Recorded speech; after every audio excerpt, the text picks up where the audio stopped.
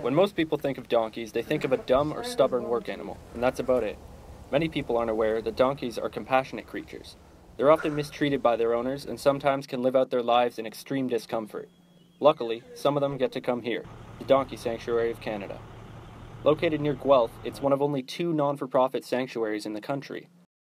The mission of the Donkey Sanctuary of Canada is twofold. The first is to rescue and provide a haven or a lifetime home for donkeys and mules and hinnies that have been neglected, abused, um, abandoned, hurt, or that people can no longer look after. So that's our mission. And the second part of it is to educate people about um, animal welfare in general and donkeys in specifically because people really don't understand their needs and you know what goes on with the donkeys. They've also taken in a goat and a llama which had nowhere else to go. You can actually see that bump in her nose is from them leaving a halter on her too long. During the warmer seasons, the donkeys are free to roam around the sanctuary as they please, but in the winter they tend to spend much of their time indoors to keep warm. The sanctuary has a number of volunteers and employees who dedicate their time to take care of these animals. I've really enjoyed working here. It's um, I had a lot of stress in my life, and coming here, it just takes it all away, and you forget about it all. And and I really, they always are thanking us for everything and saying how much we do for the donkeys, but I always feel we get way more from the donkeys than they, that we give them.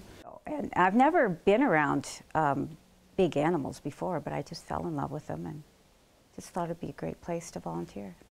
My first favorite was Apollo. So he was the donkey who was beaten with a steel rod. When they went to go get him, they gave the um, donkey sanctuary staff the rod and said, here, you'll need this. Apollo is one of the gentlest, kindest donkeys, and he loves attention, loves being petted. I can kind of call his name and whistle, and he'll perk up, and sometimes he comes over. Donkeys are too often abused or abandoned. They can live for up to 50 years, which means sometimes their owners will grow too old to be able to care for them anymore. They deserve to live out the rest of their lives comfortably, and that's why a place like this is a necessity.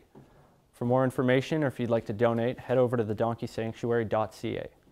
For Conestoga Connected, I'm Devin Ziegenbein.